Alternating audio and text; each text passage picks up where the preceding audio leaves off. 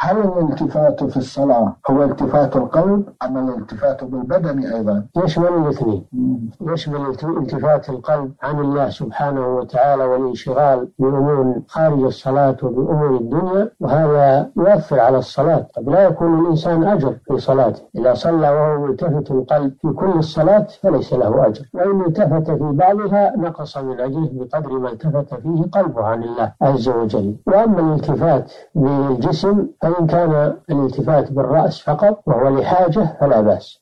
وإن كان لغير حاجة فإنه مكروه وهو اختلاس يختلس الشيطان من صلاة المسلم. وأما الالتفات بالبدن والانحراف عن القبلة من غير ضرورة فهذا يبطل الصلاة. نعم.